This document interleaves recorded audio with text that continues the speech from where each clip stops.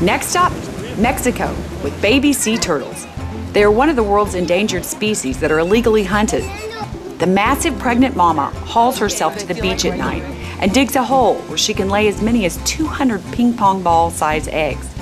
60 days later, these tiny babies hatch on their own and instinctively head out into the enormous ocean alone. Only one in 1,000 will make it.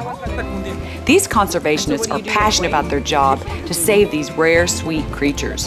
How many days are the eggs in the hole? Ready, one, 60 days. 60 days? One of those out of a thousand will make it. The rest will die. Yes, sir. And how long have you been working with turtles? 10 years. 10 years. And you love them? Yes, of course. Does she come ever come back to get them? No. So she's gone.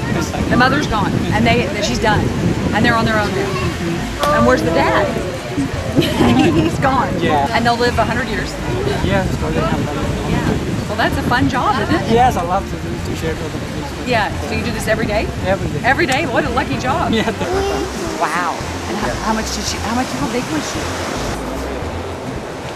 Did, when she closes like that, what does that mean? Because you need Póngale tita. Póngale tita a ella. Tita. They're like little golf balls. yeah. I'm naming these guys Fred and Ethel, and I'm letting them go out to sea. Mwah. Go, guys. Here we go. Let's go.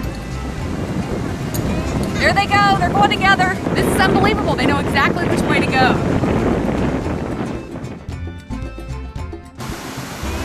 Come visit me at flythecoop.tv or Fly the Coop on Facebook.